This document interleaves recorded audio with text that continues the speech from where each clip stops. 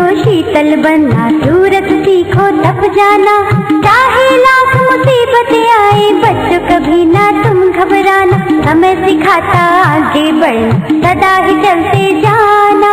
सीखो फलदार वृक्षों से, झुककर शीश नवाना।